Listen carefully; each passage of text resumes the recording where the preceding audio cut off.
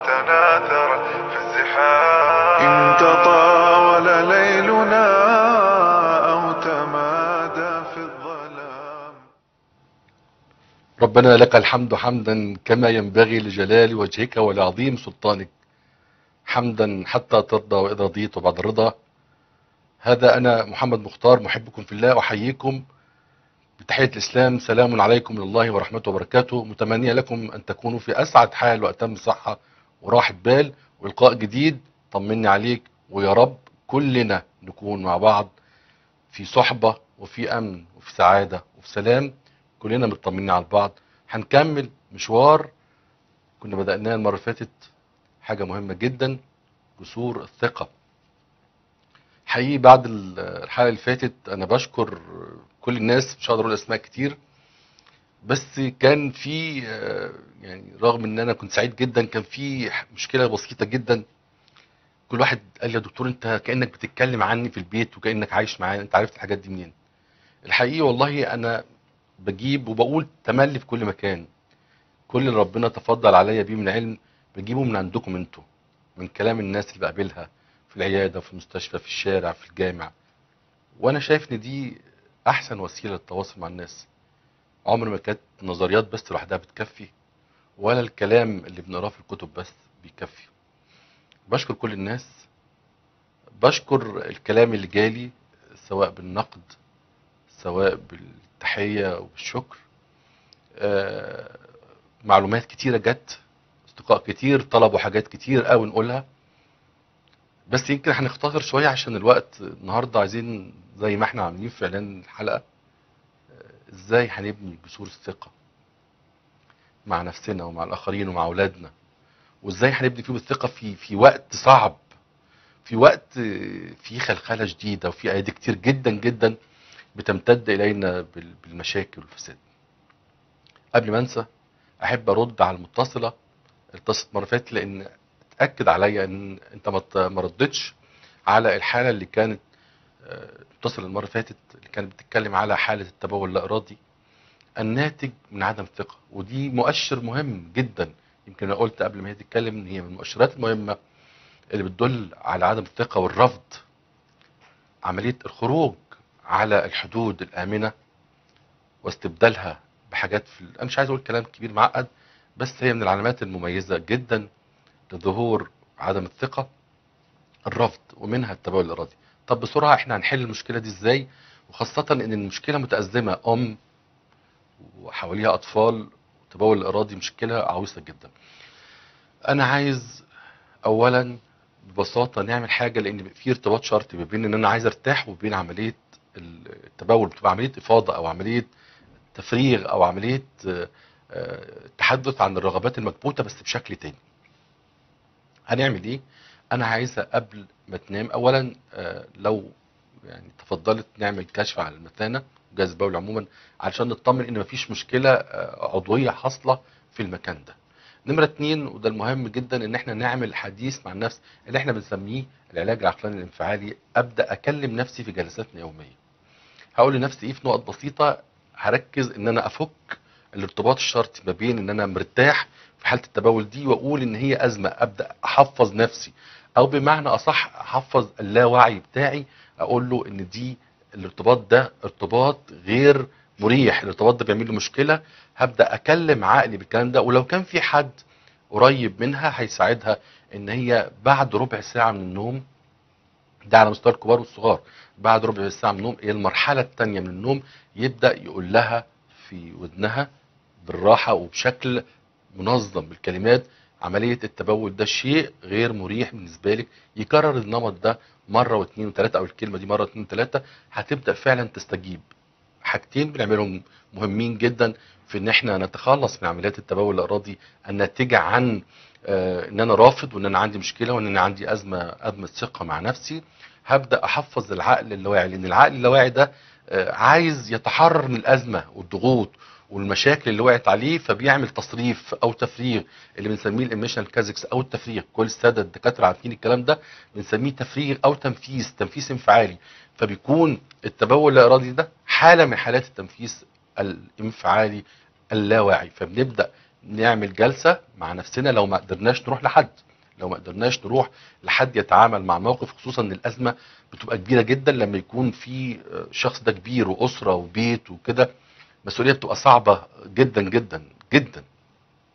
يا جماعة ما حدش ياخد موضوع ب... ب... ب... يعني بنوع من يعني باستخفاف لأن في ناس بتقول هو ده يعني مشكلة. لا ده مشكلة كبيرة مشكلة كبيرة جدا وحاصلة. يمكن أنا انفعلت المرة اللي فاتت أو اتأثرت قوي فبقول يعني آه، ده كان شكل مبالغ. لا أنا حطيت نفسي في مكان الشخص لما اتأزمت موقفها. يبقى ببساطة كده هنقول إن أنا هعمل جلسة كل يوم على الساعة 6 6 ونص كده قبل ما أنام. مثلا بساعتين ثلاثة أبدأ أحفظ عقلي اللاواعي أسمع له كده إن العملية دي الارتباط ده لازم نفكه أنا بتحصل لي أزمة أنا يعني بيبقى في شكل وحش كذا كذا بفضل أحفظ عقلي تدريجيا يمكن إن شاء الله بعد اليوم الثالث وده طبعا بعد الكشف على المثانة وإن مفيش مشكلة آه، جسدية إن شاء الله ما يكونش في مشكلة لأن هي خاصة. يمكن أنا سألتها في في مشاكل وأنا ثقة قالت لي آه. فده بيبقى الارتباط شرطي قوي فاحنا ان شاء الله هنفك الارتباط الشرطي ده وهنبدأ نعمل عمليات التفريغ دي قبل ما ننام.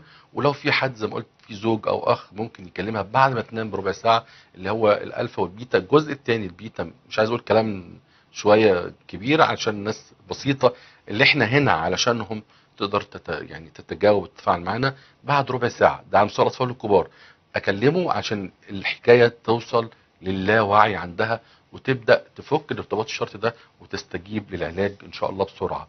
ممكن تاخد حاجة مهدئة مشروبات مهدئة علشان تقلل الصراع وبالأحرى كمان إن هي لازم تتكلم عن المشاكل اللي عاملة لها آه، مكبوتات أو اللي هي عاملة لها تأثير في نفسها جدا فمخلياها آه، عندها حالة عدم ثقه آه، في كان بعض ال- الخطوات أو النقط اللي إحنا كنا المفروض نتكلم فيها الناس قالت لي طب ما في اللي هم عندهم عدم الثقه ساعات بنشوف فيهم حالة من التكبر أو التجبر على النقيض.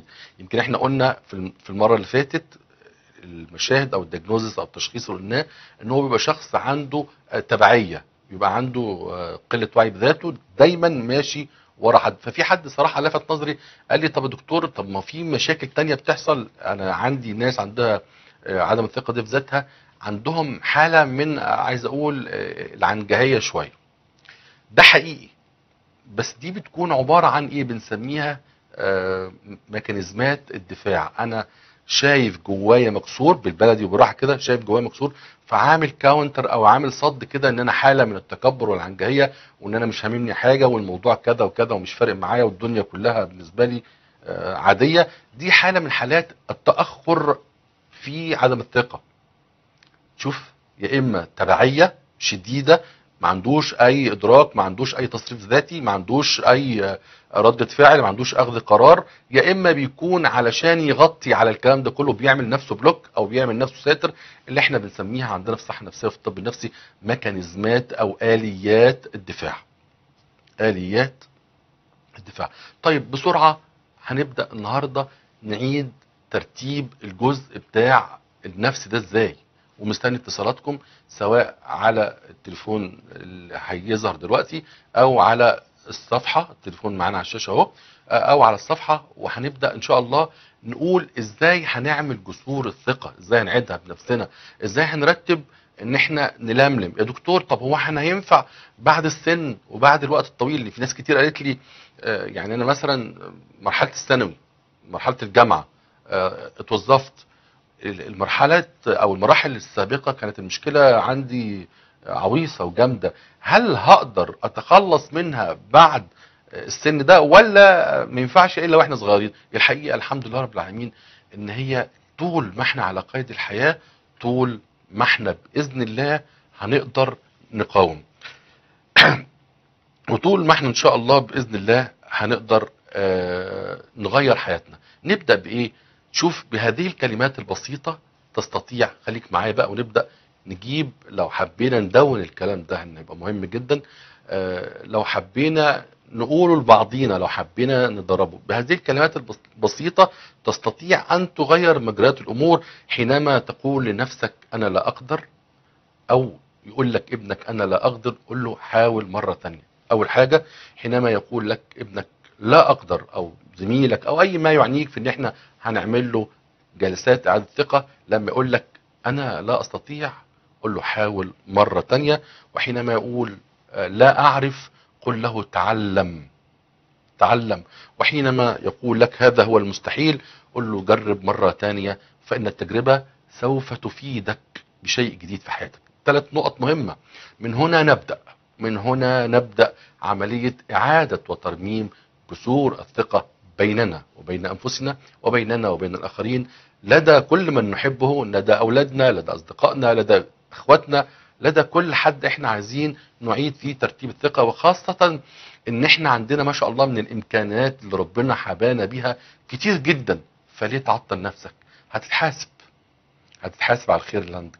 يا دكتور أصل مشكلة. يلا قوم تعالى معايا نبدأ النهارده وخلي باراجراف بتاعك أو العنوان الرئيسي بتاعك حينما تقول لك نفسك لا أقدر قل لنفسك حاول مرة تانية وتالتة. فأنت في حالة جهاد للنفس حاول وقوم وقف وتعلم حينما تقول لك لا أعلم قل لها تعلمي. فما خلقنا هنا إلا نتعلم ونحدد ويكون المعرفة هي أساس الموضوع. ولذلك ربنا سبحانه وتعالى بدأ في كتابه الكريم بإقرأ. وسبحانه وتعالى لم تأتي كده من فراغ. اقرأ. اقرأ باسم ربك الذي خلق. ومن العجب أن ربنا سبحانه وتعالى يربط هذا التعلم وهذه القراءة بالكرم. هناك علاقة عجيبة ربنا سبحانه وتعالى وضعها. اقرأ وربك الأكرم. أي إنك حينما تحاول وتجتهد وتقوم وتتعلم وتقدم كل يوم لنفسك أسلوب جديد وخبرة جديدة تأكد أن هناك كرما ربما لا يخطر لك على بال سوف يأتيك من المولى سبحانه وتعالى. القاعدة اهي خلينا كلنا نكتبها خلينا كلنا ندونها خلينا كلنا نحفظها خلينا كلنا نحطها ونغرسها في أول طوبة وفي أول سلمة هنحطها في سلالم الجسور التي سوف تصل بنا إلى الثقة وإلى التعلم وإلى الترقي وإلى العبادة المقرونة بعلم وإلى الوجود في الحياة بأننا نتعلم ونقرأ ونرتقي ونعلم بأن الله سبحانه وتعالى قد ربط وقرن القراءة والتعلم والرقي بكرم من الله سبحانه وتعالى. نيجي نشوف ما هي الخطوات والفواصل وشكل الأداء اللي هنعمله الأول لما نيجي معانا طفل معانا شاب معانا مراهق معانا أي حد هنبدأ من الأول ويلا بسم الله الرحمن الرحيم تعالوا نحط خطوة خطوة وطوبة طوبة وسلمة سلمة في جسور الثقة حتى نصل إلى ما نريد بمشيئة الله سبحانه وتعالى. أول حاجة بعد ما خلاص قررنا إن إحنا مش هنقف لأن كل واحد عنده عدم ثقة بذاته البداية عنده بتبقى مشكلة مشكلة في البداية مش قادر مش عارف مش فاهم أنا ما عنديش أنا مفيش وخلي بالك ساعات بتكون العملية مرتبطة زي ما بينا المرة فاتت بحالة من حالات الخمول الجسدي. ليه يا دكتور؟ لأن للأسف الكلمات المهينة والكلمات المؤذية والكلمات التي تسبب الجرح النفسي بتدي اوردر للعقل أنا مش نافع. هذا العقل المكون العجيب الذي ميز الله سبحانه وتعالى به آدم وكل بني آدم عن جميع المخلوقات. بيبدا العقل ده يقول للجسم اقعد. أنا مش هقدر أقوم بالعمليات المنوطة بيها تخيل. تخيل إن أنت لما بتيجي تردد على نفسك الكلمات أنا مش قادر أنا مش نافع أنا فاشل أنا محطم. تخيل إن العقل بياخد كل الكلام ده منك ويسجله ويدونه ويبعت إشارات لكل الجسم. استريحوا استرخوا لا فائدة.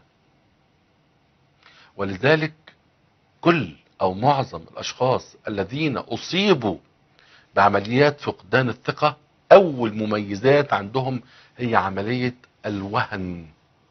شوية شوية بتجيله لو تفتكروا اللي إحنا اتكلمنا عليها متلازمة الوهن المزمن. خلاص قاعد خامل غير نشط ما بيعملش حاجة. تيجي تقول له يقول لك أنا تعبان. البداية كانت منين؟ البداية كانت من الكلام. هو الكلام بيأذي قوي كده يا دكتور؟ جدا جدا. جدا. وإلا ما كان سيدنا النبي صلى الله عليه وسلم قال إن الرجل لا يبلغ بالكلمة الكلمة واحدة. إلى أمور في غاية الرقة وعن السماء أو إلى للأسف ربنا ويكفيك الشر. كلمة الكلمة. فالكلمة اللي بتخرج منك لما بتقول لابنك أو بنتك أو أي حد أنت مش نافع وأنت كذا ياخدها يحطها في العقل اللاواعي العقل بيفضل يترجم ويبعت إشارات اقعدوا خلاص مفيش شغل مفيش عمل مفيش كذا مفيش كذا. هنقف إزاي تاني بالكلام اللي إحنا قلناه الأول؟ أنا أقدر أنا أستطيع أنا سوف أحاول إن شاء الله. نيجي أول نقطة هتعمليها مع ابنك. تعالوا نمسك ورقة وقلم ونقول أول نقطة هتعملها مع نفسك. الأول لو أنت عندك مشكلة في الثقة بالذات أو مع ابنك أو مع أي حد أنت عايز تتناول معه برنامج إرشادي أو علاجي. أول حاجة عملية إن أنا أكون في معزز اللي بنسميه المعزز أو التشجيع أو المكافأة. إزاي يا دكتور؟ يعني أنا النهاردة لو بدأت وقمت ولقيت نفسي قايم ولقيت نفسي خلاص توكلت على الله سبحانه وتعالى وهبدأ أقول لنفسي أنا أستطيع أنا أقدر سوف أتعلم سوف أحاول وإن كان هذا الأمر مستحيل. هل لو أنا قمت وبدأت أشتغل أعمل نفسي مكافأة؟ من الضروريات المهمة جدا ومن الآليات الفعالة جدا والتي سوف تجعلك آه، في خطوة ورا خطوة. إن أنت مع كل خطوة إن أنت تشجع نفسك بإنك تعطي نفسك مكافأة. نوع المكافأة إيه يا دكتور؟ هل هي مكافأة مادية؟ هل هي مكافأة معنوية؟ هل أجيب نفسي حاجة؟ تصوروا أنا دايما بقول للناس عندي في العيادة لما ببدأ أدخله في برنامج إرشادي لتعديل الثقة أو لإعادة الثقة بقول له إيه؟ بقول له روح اعزم نفسك على حاجة. روح هات لنفسك حاجة أنت بتحبها. بعد أول سلمة بنطلعها علشان يفضل طالع ما يبصش لورا بقول له روح اعزم نفسك على حاجة. هات لنفسك حاجة انت بتحب أي حاجة بسيطة. تشوف نفسك بتحب إيه. أي حاجة لو حاجة بسيطة جدا تعمل بيها حالة من الرضا للنفس علشان تستمر معاك في الخطوة اللي بعديها. طب الكلام ده هنعمله مع اولادنا أيوه. مع كل خطوة ولادنا. هيمشوا هنمشي بالبرنامج بالظبط النهارده. أنا مش عارف لا هتعرف.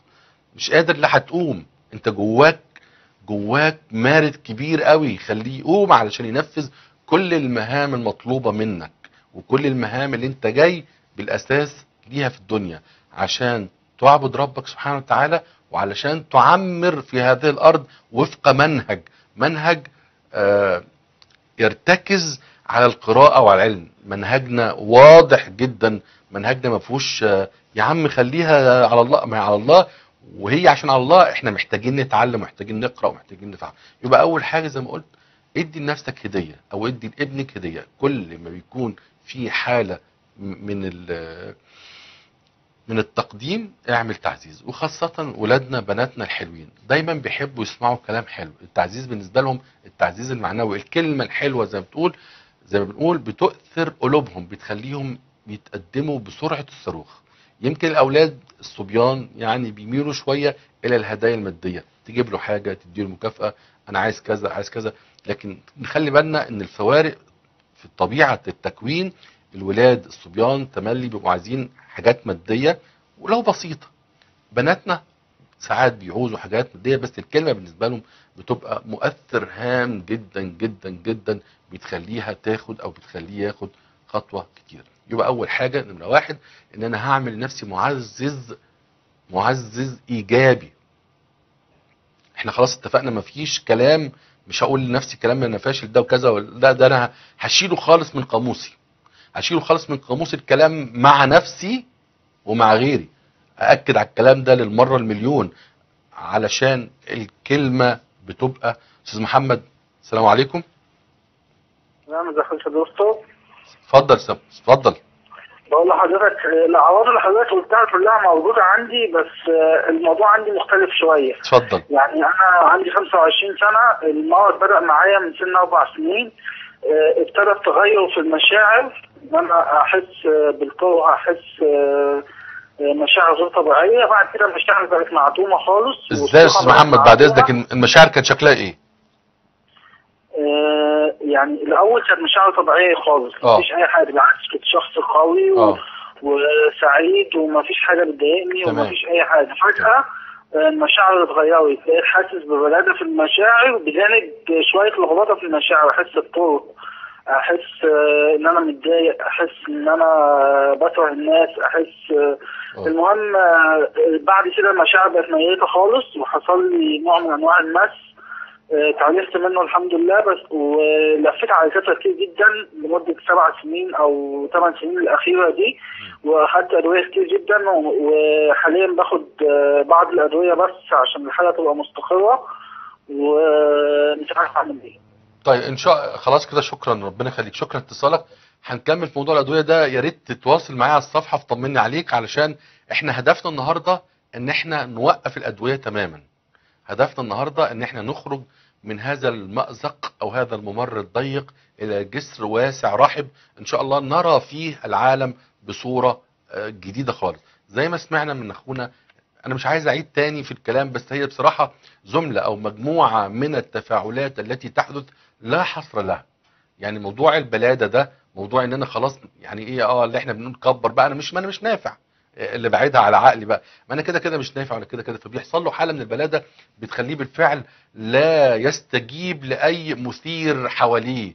ما بيستجيبش اي حاجة. لكن إن شاء الله إحنا هنقوم تاني. بس فكرني يا محمد إن إحنا نتكلم إزاي هنخرج عن أو آه، موضوع الدواء ده لأنه مشكلة كبيرة. والموضوع إن شاء الله مش محتاج آه، لدواء. آه، نيجي أنا في نقطة تانية بس عايز أجاوب عليها هو قالها محمد في وسط الكلام ده. هل الموضوع ده من وجهة النظر بقى الإسلامية البحتة. لو إحنا حصل لنا الكلام ده هل ممكن يتداخل معاه شيء من الميتافيزيكس أو المس أو الأعراض ال- كده؟ أنا محتاج حد من مشايخنا يجاوب عليه. أستاذ أحمد نصر المرة فاتت سبت لك سؤال أو سؤالين ومحتاج ضروري نحيل المسألة دي. لكن أنا عارف إن في بعض الناس من كتر تأزيم ومن كتر حالة آه، الابتعاد عن المجتمع اولا بتبدأ بالاكتئاب في في نقطة فاصلة بقى. أنا بالنسبة لي أنا علميا في نقطة ما بين الاكتئاب وما بين إن أنا أمشي بعد كده لغاية الميول الانتحارية.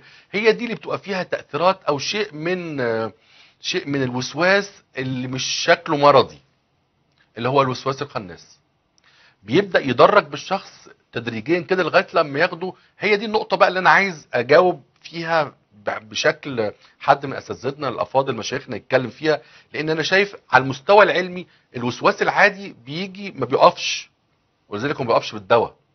بيجي ينتقل بقى لمرحلة تانية وسواس كبير بياخده إلى الأعراض الانتحارية. وده النقطة اللي أنا بقول دايما إن إحنا يستحب إن إحنا لما ناخد دواء لوقف الآثار المترتبة على حالة عدم الثقة لابد إن هو يكون في جدول أو برنامج زمني بالتوازي لعلاج ال- المتدخلات الاخرى زي قراية قرآن أو ورد معين يمكن حد إن شاء الله يفيدنا في القصة دي. بس أنا من وجهة نظري شايف وشهادة أمام الله سبحانه وتعالى إن هو ضروري إن أنت تعمل ميزان ما بين إن أنت تشتغل بالدواء وتشتغل يكون ليك ورد مثلا زي قراءة سورة البقرة أو كذا أو كذا علشان الإنسان كنفس وروح لابد يتقفلوا مع. هو في, في, في الناحية العلمانية الدكاترة تقول لك لا أنا ماليش دعوة بالقصة دي. خلينا في حالة ال- الوسواس أو الاكتئاب اللي بتيجي اللي هي انخفاض مادة ستريبتوتين أو كذا. طب أنا أساتذة عليت الستريبتوتين والشخص لسه عنده الميول الانتحارية. أتصرف إزاي؟ لابد إن أرجعه. أنا من وجهة نظري اللي أنا مؤمن بيها. اللي أنا مؤمن بيها جدا إن أنا لازم أرجعه للإسلام ولدينه وأمسكه لصانعه علشان العلاقة دي بتعمل نوع من طرد حالة الاكتئاب التي تخطت الحالة المرضية أو الحالة الدوائية. يا رب الكلام يكون واضح وباين. ولو في أي أسئلة تانية إن شاء الله هنجاوبك عليها. بس محمد أرجوك آه، آه، كمل معايا صفحة طمني عليك إن شاء الله الصفحه دي أو دي علشان نقول إزاي هنخرج من عملية الدواء تدريجي.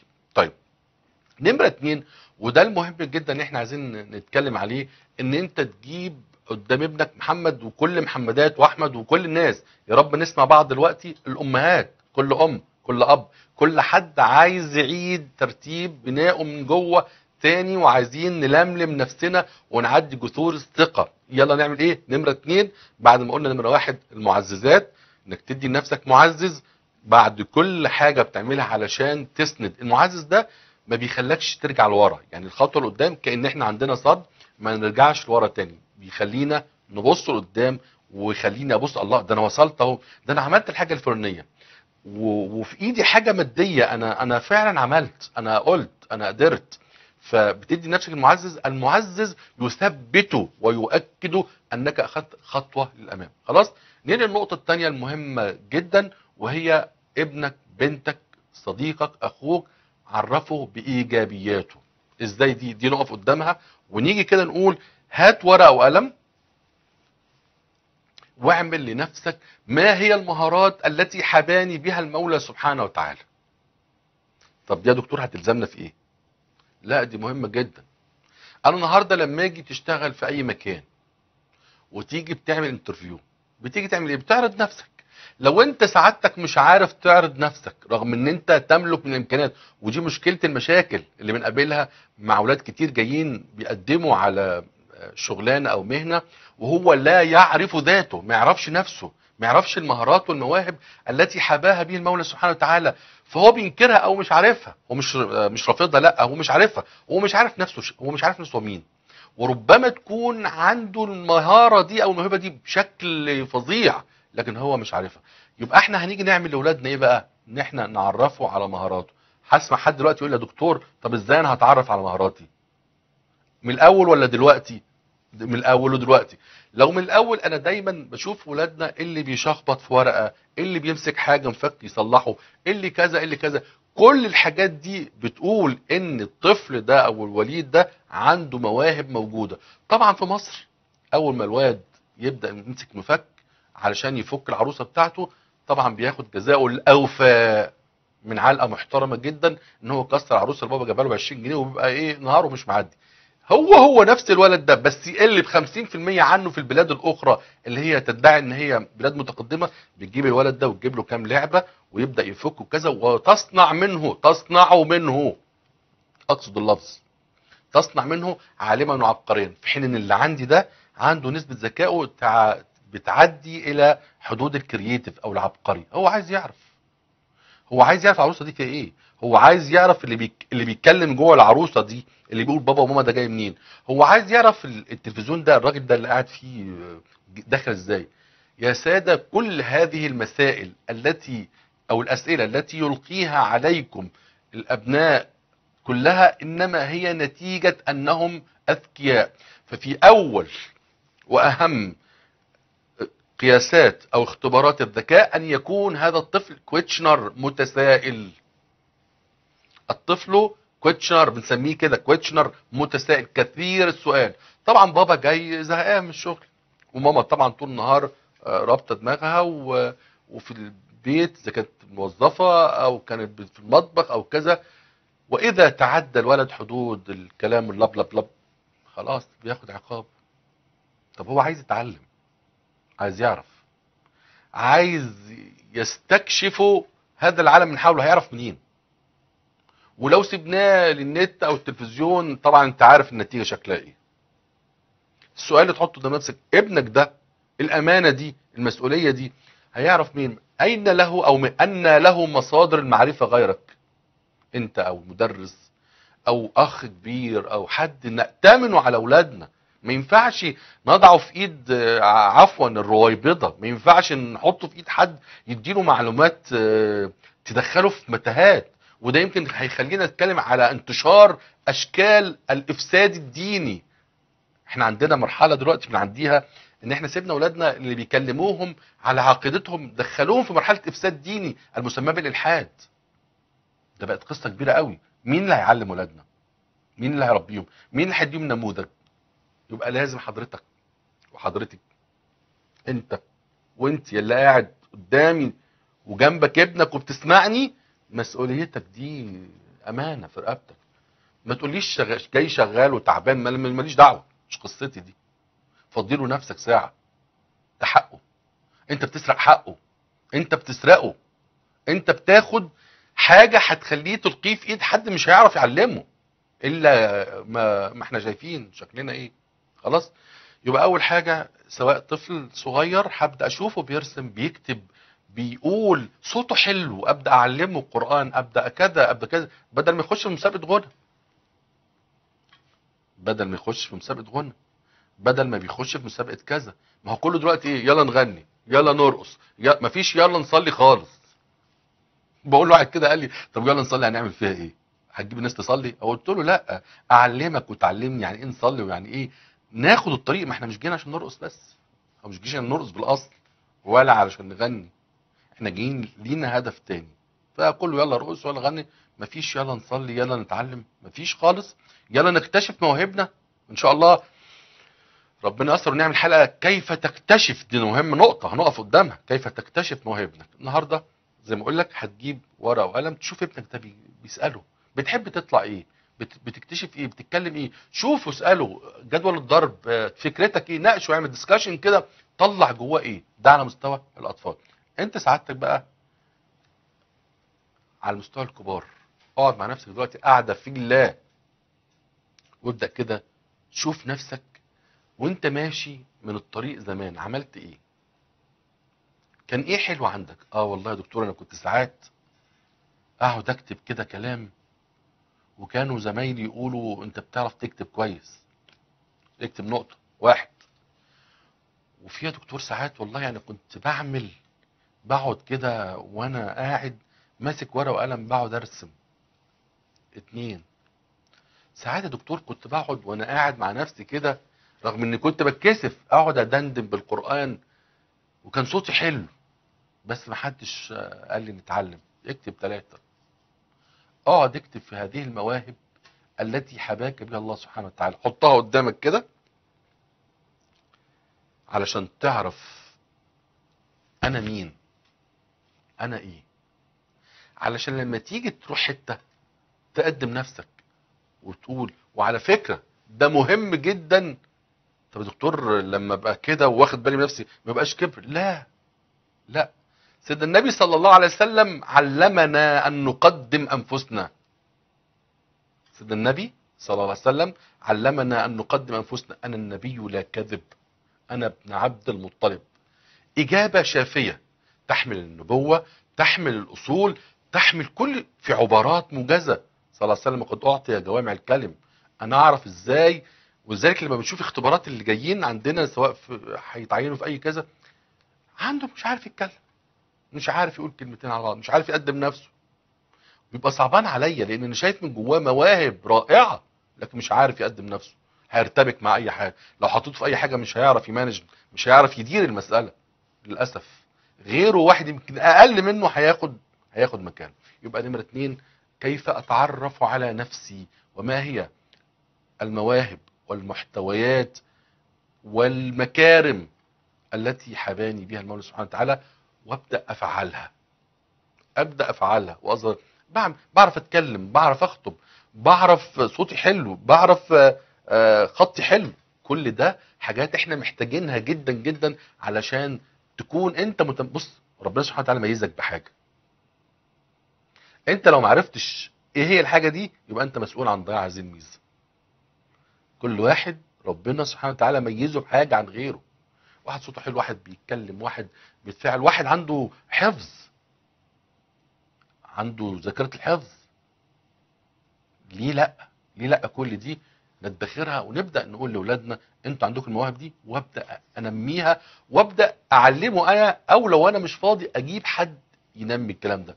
طب هيحصل إيه يا دكتور؟ كل ما بنحصل أولادنا يحصل لهم عملية التنمية أو النماء في جزء يشعر الله طب أنا عارف أهو. أنا فاهم أهو. بيبدأ يقف في الفصل عنده ثقة بنفسه. بعد ما هو قاعد مرة فاتت واحدة قالت لي أنا أنا دكتور ببقى عارفة الحاجة ولما جه الأستاذ أو الدكتور يقومني حصلت لي حالة دوار وأغمى عليا في الفصل. ليه؟ لأن في البيت أنت مش نافعة أنت فاشلة أنت كذا. الكلام ده هننساه الكلام ده خلاص ما ينفعش نقوله تاني. خلاص؟ يبقى رقم اتنين إن إحنا نجيب ورقة وقلم نشوف إيه اللي حصل وايه اللي ربنا حبانا بيه وايه اللي إحنا هنقدر نقدمه لأنفسنا الأول وللآخرين ولإسلامنا ولزوينا ولأهلنا ولأحبتنا. علشان لما يحصل عملية الانتجريشن أو عملية التكامل أنا عندي حاجة بديها لك وده عنده حاجة. هو ده المجتمع الإسلامي. هو ده المجتمع. هو ده عملية توزيع الأدوار. في حديث الأذان سيدنا النبي عليه الصلاه والسلام لما عبد الله بن زيد شاف الرؤية بتاعت الأذان سيدنا النبي خدها. طب ما كان المفروض يقول له قوم ادن انت عبد الله. لا قال لسيدنا بلال يا بلال قم فأذن. ليه؟ سيدنا بلال ربنا حباب حاجة تانية. فهو أندى منك صوتا. موهبة. وظل بلال رضوان الله عليه وعلى كل صحابة رسول الله. هذا القادم العبد الأسود كان له من الفضل بأنه مؤذن رسول الله. ليه؟ اكتشف موهبته. سيدنا النبي صلى الله عليه وسلم اكتشف موهبته. أدار سيدنا النبي كان بيدير المسألة بشكل تربوي وبشكل علمي. والله مش عشان إحنا مسلمين لا في إدارة أهو. راجعوا المسألة دي في في حادثه الإذان الأذان.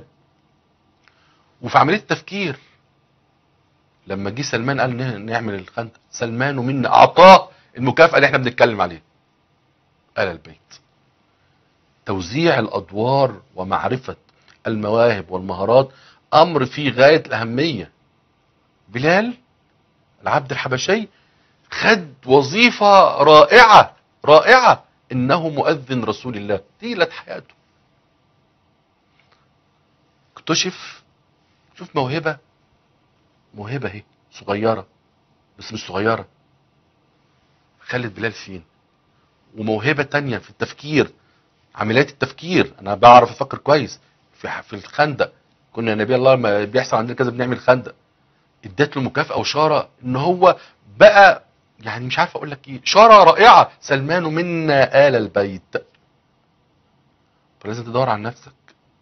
لازم تدور على موهبتك. لازم تدور على موهبة ابنك. الموهبة دي هي اللي هتميزه عن غيره وربما تخليه طول حياته في مركز ربما أنت ما تحلمش بيه. حقيقي والله. أنا شخصيا آه، أدعي إن إن والدتي رحمة الله عليها اكتشفت فيا إن إن الموضوع ده اللي أنا بعمل فيه ده. رغم إن هو ما كانش والله بالأمانة ما كانش يعني ما كانش مرسوم في خطتي أو في حياتي. فقالت لي كذا كذا كذا كذا. فكان الكلام آه، تصديقا وربي يجعله في ميزان حسناتها. وكل. وكل اللي ادانا وكل اللي علمنا. المهم اكتشف موهبتك واعرف أنت فين. فالموهبة دي هتخليك في مكان آخر غير اللي انت فيه تماما وحاول تثقلها بالعلم. ده ضروري جدا إن إحنا نعمله. نمرة ثلاثة أو اربعة بعد كده إن إحنا عندنا مشكلة كبيرة بنعملها مع أولادنا هنبطل إن شاء الله نعملها خالص هي عملية الكومبيرنج أو المقارنة بينه وبين أحد أفراد العيلة. مشكلة. شوف بنت خالتك شوف ابن خالتك شوف ابن عمتك شوف ابن ستك إيه، مين ابن ستك ده؟ مفيش ابن ستك. يفضل طول النهار الولد بيعمل حاجتين. بيعطل نفسه عن العمل بإن هو بيتابع الشخص الناجح وبينقم عليه. وهو واقف في المكان. يبقى من الأمور التي نراها في بيوتنا ويجب علينا فورا أن تقف حتى يمر أبنائنا بشكل آمن إلى جسور الثقة إن إحنا نبطل تماما نعمل المقارنة بينه وبين أي حد قريب منه. ممكن نعمل له مثل صالح نعمل له قدوة صالحة. ودي أنا دايما بعملها لأولادنا الصغيرين لما بجيب بعض ال- القصص القراني وقصص الصحابة. لما أجي عايز أعمل المثير في فرق. لما أجي عايز احفزه واعمل مثير بديله قصص قرآني أو قصص لحد من الصحابة مثير الشجاعة كيف نام عليه في مكان سيدنا النبي صلى الله عليه وسلم وهو آه، كان لسه في سن صغيرة. ده مثير اسمه مثير إيجابي بعمله ليه. لكن اعمل له مقارنة شوف ابن خالتك عملت إزاي وشوف ده عامل إزاي. وعلى فكرة المقارنة دي إحنا مشغلينها في كل حاجة. في آه، التعليم في المظهر في حتى في الجواز. هي مش أقل من بنت خالتها اللي جالها شبكة مش عارف بكذا. في إيه؟ في إيه؟ مش هينفع. مش هينفع نحيل أبنائنا دائما إلى حالات المقارنة التي تعجز من انفسهم من دورهم وتخليهم يشعرون بالإحباط والدونية. أنا هوصل له إزاي؟ لا ده أنت عندك قد ابن خالتك ده 15 مرة بس آه، والدك والدتك ربنا يبارك لهم بيتكوا على سوسته الإبداع. شيل إيدك شيل إيدك خالص. شيل إيدك من عملية المقارنة وان انت تقول بص ده عمل إيه وبص ما عملش إيه. خلي ابنك يركز فيما هو فيه. خليه ينشغل بما حباه الله سبحانه وتعالى المواهب وينميها. ما تخلوش يفضل يبص على حاجة هو عايز يقلدها بس وعايز يوصل لها. ويمكن هو ما عندوش. طب ابن خالته ربنا حباه مثلا ان هو بيرسم. مش لازم يكون الولد بيرسم. حباه ان هو فالح في التجارة. مش لازم يكون ده في التجارة. آه ابن خالته في كليه وكل ولاد خالاتنا في كلية الطب. طب بقت عقدة في الصيدله ما هو مكانه مش هنا. إحنا مش لازم يكون كلها كده. ربنا سبحانه وتعالى عمل تنويع عمل تنويع عمل تشكيل. أنا هنا وده هنا وده هنا وده هنا. وكل واحد في مكانه هينجح يبقى أحسن. يعني هل تطلع دكتور ملوش في الطب وفاشل ويفضل زي ما بنشوف؟ ولا تطلع حد تاني حابب المهنة وبيديها وبتديله وهو رقم واحد في المكان ده؟ خلاص يبقى بلاش عملية المقارنة خالص. لأن هي مش في صالحنا. الأول نكتشف نشوف هو نافع في إيه ثم نتناوله بالتنمية والترقية في المكان وبلاش نعمل عمليات المقارنة آه، الدائمة. بعد كده عندنا حاجة مهمة جدا إن هي الموضوع لازم يكون يشمله شيء من الحب. عايزين قدر كافي من الرعاية. خلي بالك الكلام ده مهم جدا. قدر كافي من الرعاية. قدر كافي من المحبة. قدر كافي من التواصل. لازم تقعد مع ابنك تتكلم. لازم تقعد مع ابنك تضحك. اضحك. سبحان الله. يعني اقعد اهزر الدكتور معاهم واقول نكت يا أخي ليه لأ؟ تعالى هنا. هو سيدنا النبي صلى الله عليه وسلم ما كانش بيقعد مع الحسن والحسين ويلاعبهم وأهل بيته كلهم؟ آه صحيح. يبقى لازم يحصل كده. لازم يحصل كده. خلاص؟